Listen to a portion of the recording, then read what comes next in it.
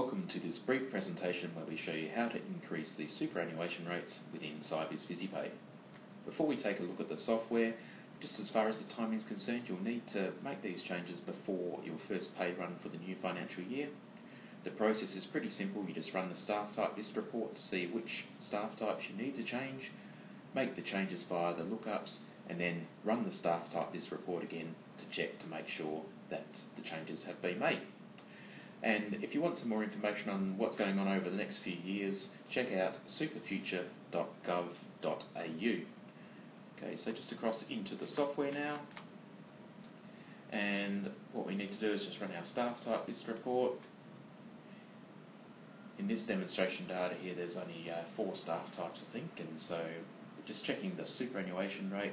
Here we've got 9%, 9% again, 9% again, and 9% again. So all four of my staff types will need to be updated.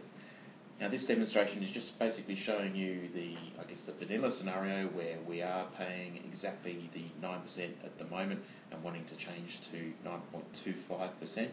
If you have a, a different situation, the process is pretty similar, but um, we'll just take you through, as I said, the vanilla process here. So what we're going to do is just go into our staff types, go into each of them individually, click on superannuation guarantee, and we'll just put in the 9.25%. I'm a little lazy and also a little bit paranoid about my ability to type, so I'm just going to do a control C to copy that, OK that, move on to the next one, superannuation guarantee, control V to paste it, OK that, and so on and so forth, just repeat that another couple of times, it's really quite quick.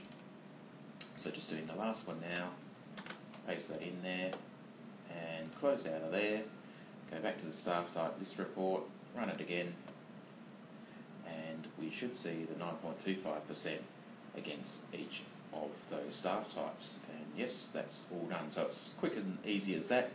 Over the next few years, uh, these changes are going to become quite regular, so it's a process that uh, you'll be more than familiar with by the time we get to uh, 2020, but uh, certainly this is the, the first change in the compulsory rate since around uh, 2002 2003, so it has been a long time since you've needed to do this. Thank you.